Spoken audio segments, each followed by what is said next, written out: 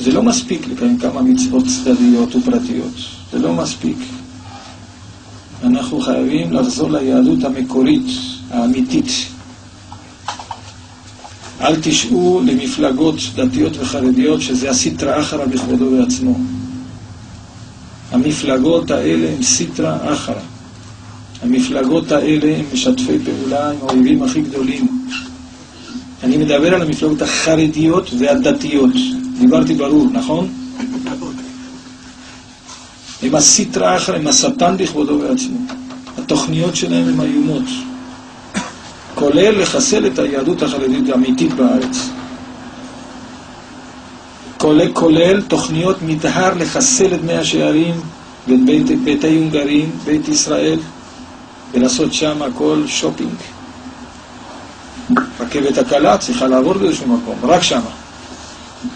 עכשיו, ברגע זה יש משפטים, ואנשים שמים פצצות במקום, כדי שהאנשים שלהם, האנשים שלהם, ייכנסו לשם. שלהם עם כיפות כמובן. אפשר, אפשר, להתחפש אפשר תמיד.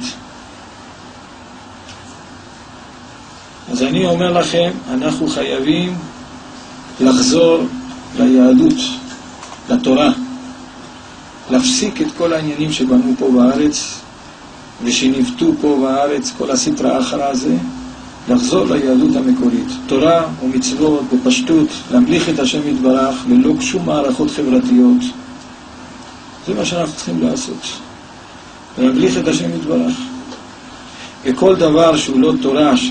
שיראו לנו שכתוב מפורשות בשולחן ערוך, אנחנו לא מקבלים, כל דבר הוא חשוב בעינינו. ואנחנו חייבים היום להתפלל הרבה, כיוון ש...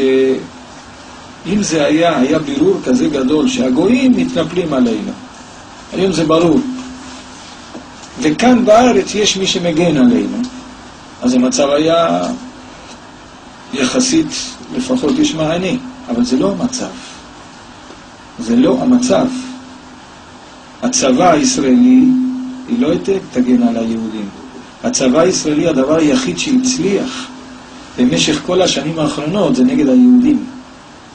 הצבא מצליח מאוד מאוד לגרש יהודים, להכות יהודים צעירים במיוחד, לענות אותם, אבל נגד הגויים הם לא עושים כלום, הם לא מצליחים.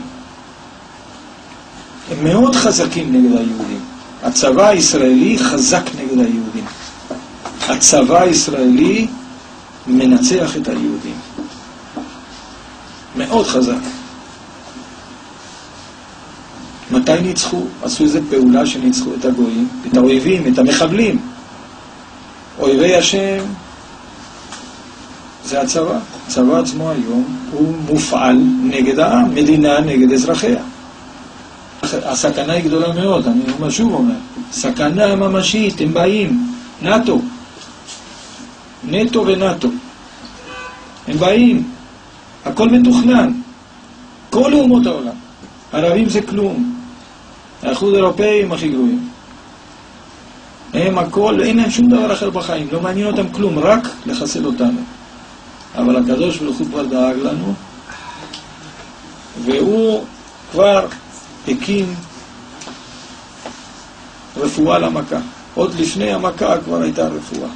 בואו נתחבר אל הרפואה. בואו נהיה מוכנים לקבל את הרפואה. הרפואה זה להתנתק מכל שלטון אנושי מכל מלכות אנושית, מכל חוק אנושי, כל המצאה אנושית, כל התיאוריות וכל הבלבולים וכל ההמצאות של הנחש, כל הניחושים והספקולציות. אנחנו אומרים כל יום בברכת המזון, המלך הטוב והמיטיב לכל. המלך הטוב. אתם שמעתם פעם ביטוי כזה? המלך הטוב. אתם מבינים מה אנחנו אומרים? המלך הטוב. אתם ראיתם פעם מלך טוב? נשיא טוב?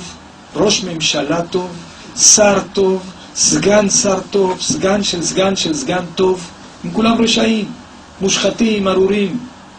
המלך הטוב, הקדוש ברוך הוא היחיד שהוא מלך טוב. המלך הטוב. חייבים להתחבר לזה ולקבל את הישועה. הישועה היא מלכות השם. המלאכת השם על הכל. שישראלים סוף סוף פעם אחת יתבגרו, יתחילו להיות עצמאים באמת. להיות דבוקים בהשם יתברך ובתורתו. להפסיק עם כל העניין, כל הפוליטיקאים וכל המפלגות וכל הפרימיטיביות הזאת, כל הגויות הזאת. תגידו את זה. ברגע שאנחנו נהיה חזקים בזה, אז יופיע המנהיג האמיתי. המנהיג האמיתי הוא לא פה. אף אחד מהמוכרים הוא לא המנהיג הזה. זה משיח צדקנו, אנחנו מתפללים כל יום שהוא יגיע, הקדוש ברוך הוא יגלה אותו. זה לא אחד מהרבנים המוכרים, הוא יהיה מאוד שונה ממה שאנשים בדרך כלל מתארים. כיוון שכבר ישעיה הנביא, כבר תיאר אותו. יהיה חדל אישים, לא יהיה לו אישיות, לא אישיות מרשימה וזה. לא יהיה לו. הוא יהיה נראה דוחה מאוד, הוא מחולל מפשענו, ואת חוליינו הוא נשא, יהיה קצת חולה, חולני כזה. הוא לא ייראה כזה, עניבה לא יהיה לו. סימטרי לא כל כך יהיה, נראה לי, לפי התיאור הזה. יהיה לו אף גדול מאוד, כיוון שכתוב ביריחו ביראת השם. אפילו עם אף קטן יהיה מיוחד, אבל משיח. ומי שיתעסק איתו עם כל מיני קונספציות, כתוב ושבט פיו ימית רשע. לא כתוב ושבט לשונו שיגיד לו איזה לחש, לא. ושבט פיו, החלק החיצוני, הפה, בו. יגיד ככה וזהו, ועשה אותו גל של עצמות. יבוא לפה משיח, יעמדו בתור, יהיו אנשים חשובים. יבואו מאגודת ישראל, יסבירו לו שפה, איך הדברים פה מתנהלים, תשמע, יש את הקבוצות האלה, את הקבוצות האלה, דברו איתו ביידיש, יעשה להם בו. חסל אותם. המנהיג שלנו הוא לא מפה. כי הנה צאתך מארץ מצרים הראינו נפלאות. יהיה כמו ביציאת מצרים. מי גאל אותנו במצרים? משה רבנו. איפה היה משה רבנו? אחד שמשפיע מבפנים? הוא היה בתוך ההנהגה של הגלות מצרים, הוא היה בחוץ.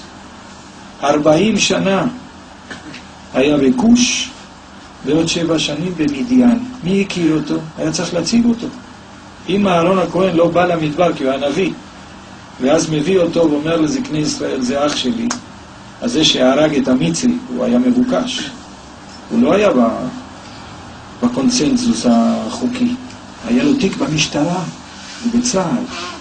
משה רבינו הרג מצרי, הרג אחד מהשלטון, מהשרים. ואז התחילו לכתוב wanted, wanted, מבוקש. מיליון דרקמות, חי או מת. ככה. חיפשו אותו. הוא לא היה אחד מהאנשים של הקונצנזוס. הוא ברח, רצו לרצוח אותו. כל המדינה רצתה לרצוח אותו. האויב המדינה, משה רבינו. שם פרטי משה, שם משפחה רבינו. אויב המדינה. וכאשר הוא בא מבחוץ, מי זכר? 40 שנה. 47 שנה. מי זוכר אותו בכלל? היה בן 80, מישהו זכר אותו? והוא גם לא למד במסגרות המקובלות. באיזה ישיבה הוא למד? ישיבת פרעה, נכון? היה שם, אצל יתרו, אצל... מי הכיר את זה? הוא לא היה כל כך יוקרתי. הוא לא היה מהמשפחות ה... הוא בא, מי מכיר אותו בכלל? בא מבחוץ. וגם מגמגם קצת. לא יודע לדבר. וגם איזה נימוסים. הוא בא מבחוץ, כי מי שבפנים, בתוך הקלחת הזאת, צריך הוא עצמו שיגלו אותו. הוא לא יכול לגאול אף אחד. אף אחד לא יכול לגאול. לכן אנחנו מבקשים שיבוא מישהו מתוקן שלא מזדהם, לא יזדהם עם כל חוקי העולם הזה. כל החוקים של בני אדם שהמציאו, כל המצאות אנוש. אנחנו מתפללים, הוא יבוא ויגאלנו, והוא מוכן. היום אם בקולו תשמעו, אבל צריך מי שיקבל אותו. צריך מי שיהיו לו קצת מושגים לא אנושיים, לא של הפוליטיקה, לא של הישראלונים האלה. מושגים של תורה, של אלוקיים, מושגים אלוקיים של תורה. ושיבוא משיח צדקנו ויגאלנו, ויבנה בית המקדש, מירה וימינו, אמן.